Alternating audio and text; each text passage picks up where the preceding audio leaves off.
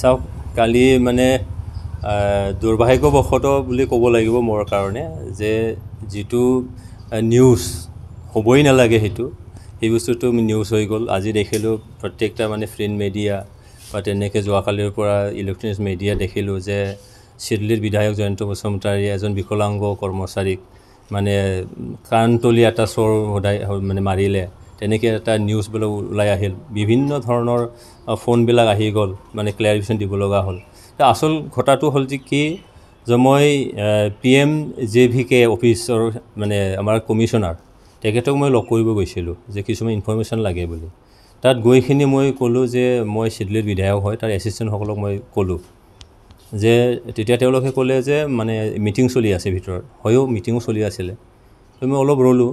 তথাপিও মই ক'লোঁ যে ইনফৰ্মেশ্যনটো দি থওক যে চিডলিৰ বিধায়কজন আহিছে মই।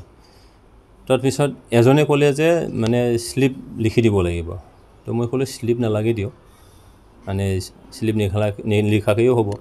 তাৰপিছত ক'লে যে নহয় এইটো নিয়মৰ কথা। আপুনি লিখি দিবই লাগিব। তেতিয়া মোৰ এছিষ্টেণ্টে ক'লে যে তেনেকৈতো আগে পিছে হোৱা নাই যে ৱেন মিনিষ্টাৰ বা অফিচাৰসকলক লগ কৰোঁতে আমি যেনেকৈ ইনফৰ্মেশ্যন দিয়ে তেনেকৈ সোমাই যাওঁ। এইটো বিধায়কৰ ক্ষেত্ৰত সেইটো নালাগে একচুৱেলি প্ৰট'কলৰো মানে নিমিলে। তো তেনেকৈ কৰোঁতে তাৰ লগত মানে কথাটো কাটাকাটি হৈ গ'ল। আৰু সেই মানে মোৰ এছিষ্টেণ্টক মানে মুখত লগাকৈ সেই মানে হাতটো দাঙিখিনি মানে আঙুলি ধোৱালে। তো তেতিয়া মই তেনেকৈ ভাইটি তেনেকৈ নহয় বোলে হাতটো অলপ মানে নমাই দিছোঁ হাতটো ঠেলি দিছোঁ। তো সেইখিনিয়ে আৰু তাত মানে কাণতলীয়া চোৰ এটা মাৰিম তো সেইটো কেতিয়াও হ'ব নোৱাৰে। তাৰপিছত সেইটো দেখি মানে এজন এছিষ্টেণ্টে আহি আনজন এছিষ্টেণ্টে আহি কিনি মোক ক'লে যে ছাৰ ই তেখেতে বুজি পোৱা নাই কথাটো। তো মই কৈ আছোঁ। তেখেতক ভিতৰত গৈ জনালে জনোৱাৰ লগে লগে অফিচাৰে মাতিলেও ভিতৰত। তো তাত মানে তিনিজন অফিচাৰ আছিলে তেওঁলোকৰ কথা বতৰা হৈ গ'ল। মোক মই পিছত কথা পাতিলোঁ। আৰামকৈ ওলাই আহিলোঁ। আধা ঘণ্টামান পিছত অফিচাৰে মোক আকৌ ফোন কৰি ক'লে যে আপুনি যদি দিছপুৰতে আছে কণ্টেক সময়ৰ কাৰণে মোৰ অফিচত আকৌ আহিব নেকি? তেতিয়া মই ক'লোঁ যে মই দিছপুৰতে আছোঁ মই আহি আছোঁ। তো গ'লোঁ।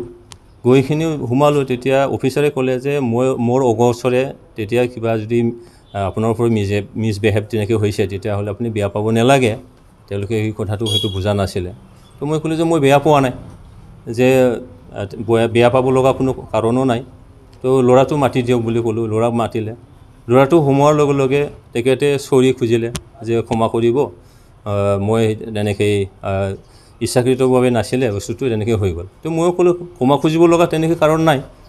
তুমি সেইখিনি মানে ভাবি লৈ থাকিব নালাগে ময়ো একো নাভাবোঁ। তেনেকৈ কৰি আৰামৰ হাঁচি তামচা কৰি তাৰ নম্বৰ ল'লোঁ মোৰ নম্বৰটোও দিলোঁ আৰু তেনেকৈ চেল্ফি এটাও মাৰিলোঁ। যে ভৱিষ্যতেও আমি যোগাযোগত থাকিম চেল্ফি এটা মাৰিলোঁ। সেইটো মাৰিলোঁ আৰামত হাঁহি তামচা কৰি। তো ওলাই আহিলোঁ মই। ওলাই অহাৰ পিছতহে হ'ল যে মই চৰাইঘাট দলংটোও পোৱা নাই। তাতে এটা ফোন কল আহিলে যে নিউজ বুজাইছে। আৰে সেইটো কি ঘটনা হ'ল? তো এই বস্তুটো মানে কি কাৰণত তেনেকৈ হ'ল মই নাজানো যে মই তেনেকৈ কাণতলীয়া মাৰা নাই। তো অফিচাৰৰ ৰুমত যেতিয়া মাতোঁ তেতিয়াহে দেখিলোঁ তাৰ লেফ্ট ছাইডৰ কাণটো মানে নায়েই বন্ধ তাৰমানে চিলাই মৰাৰ নিচিনাকৈ।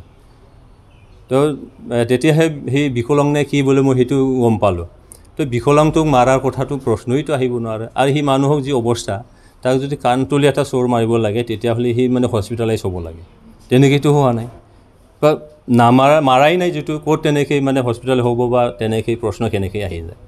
তো মই ভাবিছোঁ ইয়াত হয়তো কিবা এটা মোৰ ওপৰত কিবা এটা আকৌ কিবা এটা লেভেলত কিবা এটা চলিছে। যাৰ কাৰণে মোৰ মানে মানে বদনাম এটা জনা মানুহত মোক মানে বদনাম দিয়া বা মোৰ ইমেজটো কিবা কৰাটো মই এটা ফিল কৰিছোঁ তেনেকৈ।